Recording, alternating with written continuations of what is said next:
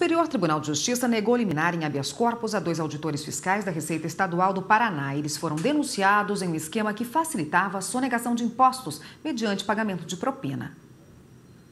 A presidente do Superior Tribunal de Justiça, ministra Laurita Vaz, negou o pedido de liberdade de Luiz Antônio de Souza e Rosângela de Souza Sempre Bom, acusados de participação em esquema de sonegação de impostos.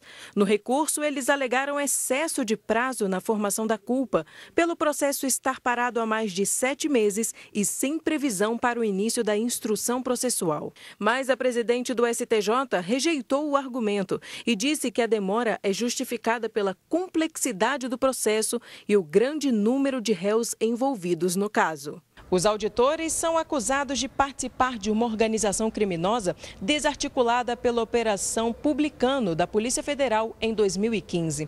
Mais de 50 pessoas, entre empresários, contadores, auditores e advogados, estão envolvidas no esquema que exigia propina para anular ou reduzir o valor de multas. Os dois auditores continuam presos na penitenciária estadual de Londrina.